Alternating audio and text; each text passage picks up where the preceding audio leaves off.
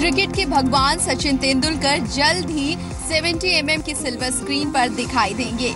उनकी ज़िंदगी पर बनी हुई film Sachin a billion dreams का टीजर लॉन्च हो गया है।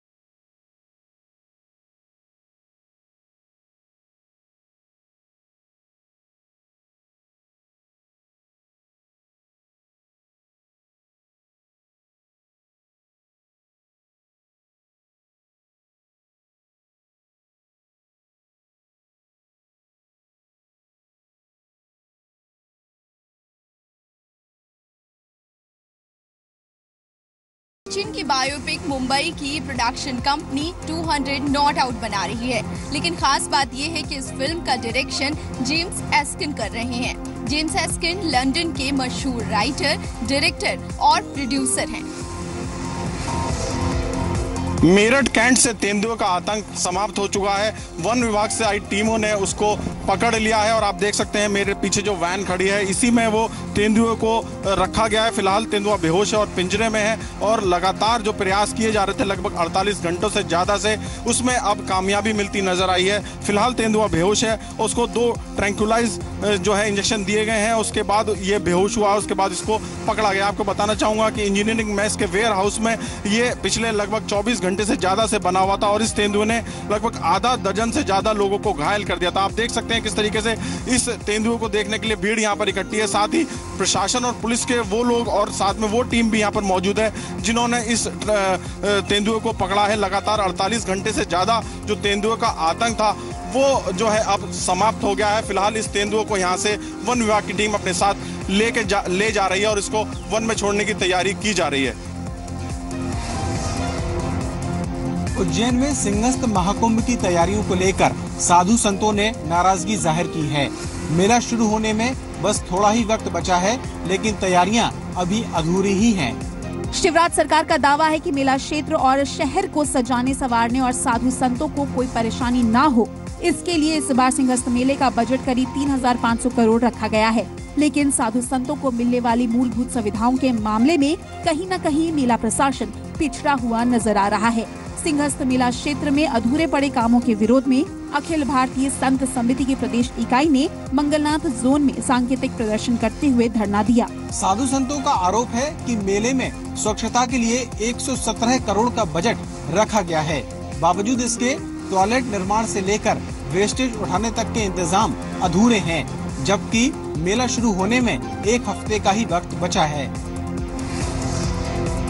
ब्रिटेन का शाही जोड़ा केट और विलियम 16 अप्रैल को जिस वक्त ताज के दीदार के लिए यहाँ पहुँचेंगे तो उनकी इस इस शानदार याद में कहीं ना कहीं आज जो फेंसिंग ताज के मीनारों के चारों तरफ़ लगी हुई है, वो एक रोड़ा बन के सामने आ रहा है।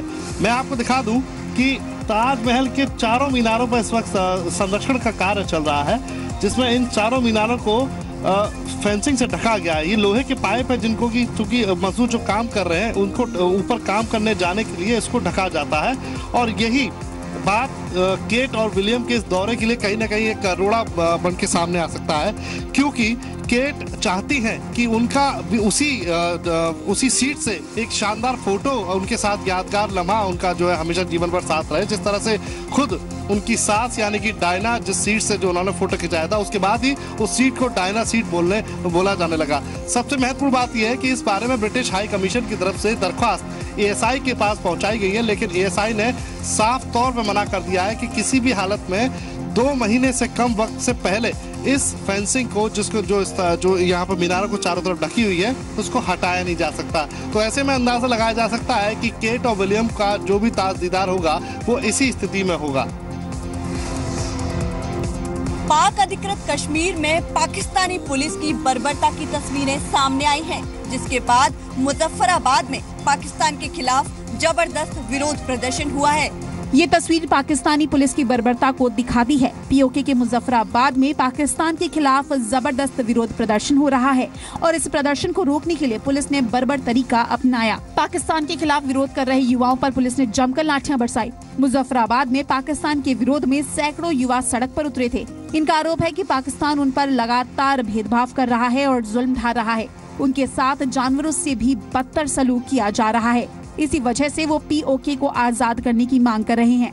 ये प्रदर्शनकारी पाकिस्तान की बर्बरता से आज़ादी चाहते हैं और इनकी यही मांग पाकिस्तानी सरकार को पसंद नहीं आती, क्योंकि वो तो सालों से जम्मू कश्मीर पर नज़र गड़ाए हुए हैं और जब तब अपने पिछुओं के सहारे यहाँ माहौल खराब करते हैं।